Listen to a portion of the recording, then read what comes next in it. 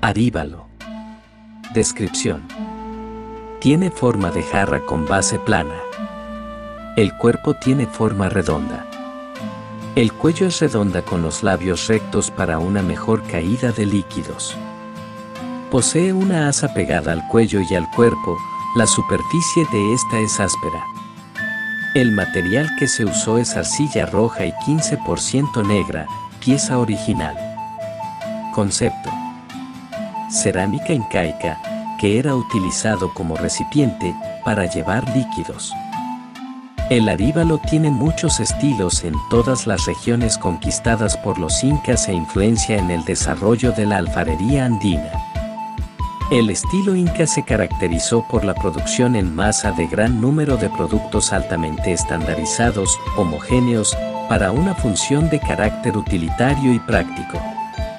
En este aríbalo se usó colores de varios tonos de marrón, rojo y negro.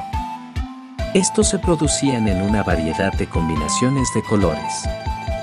Esta cerámica inca tuvo motivos geométricos, dominado por círculo, rayas, tiras y rectángulos, las formas típicas incas.